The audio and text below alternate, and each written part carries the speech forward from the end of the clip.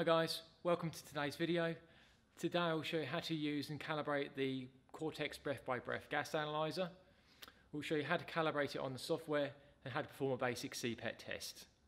So for that I'll need the 3 litre calibration syringe and the gas canister of known volume and concentration. So let's get into it now.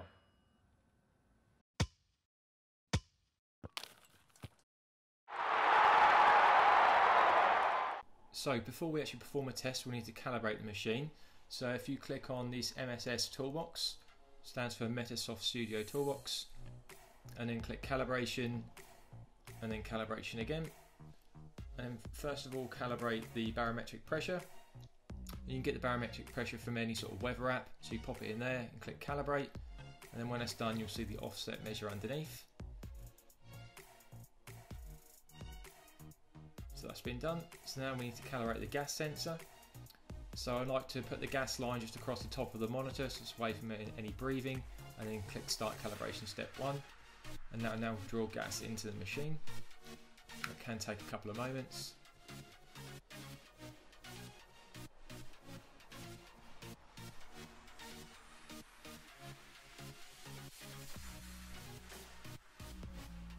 So that's now done, you'll see the measurement of gas 1 finished, so we know that's been done successfully.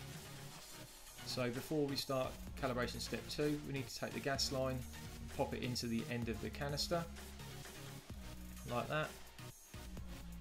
And then we can click start calibration step 2. And that will now draw gas into the machine from the gas canister. And you'll see where it says gas 2, Cortex calibration gas, and they're the values of uh, oxygen and CO2 which is storing in. Again, this can take a minute or so to register.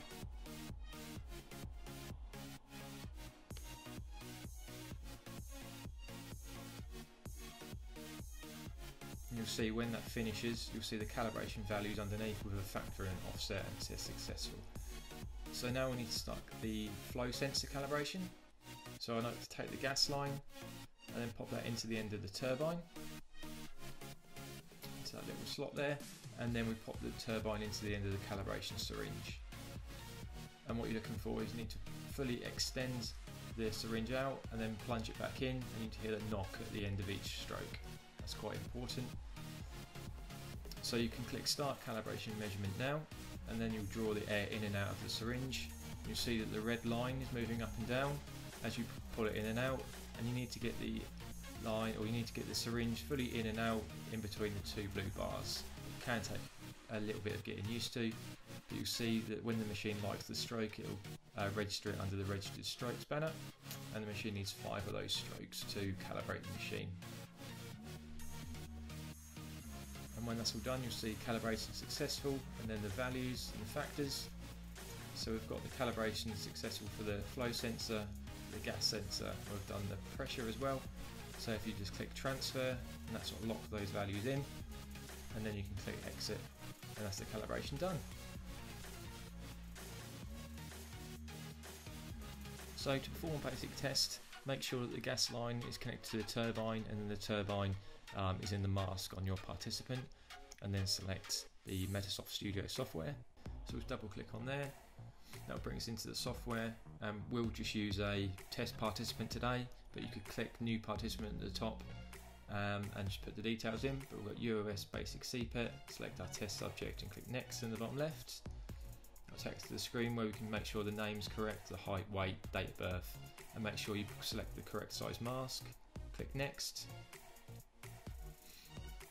And this will bring us into our test protocol, so we can select the test which has previously been created, or any of the tabs across the top, we can make our own tests. but we'll just select any tests today. It doesn't, it's not important for this uh, sort of tutorial.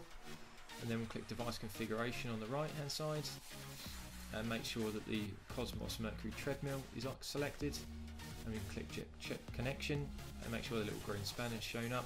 We'll get a little error message there, just, it just means that the bike isn't selected but we're not using that so that's fine. And then you can select the sensor adjustment and this will just bring in ambient air like you do during calibration um, if you've previously just performed a calibration, you don't actually need to do this step, you can just skip past it. But this is if we haven't performed a calibration today. So this will just bring in air in. So once that's done, that will say sensor adjustment successful. So you can go to the bottom left hand corner and select next.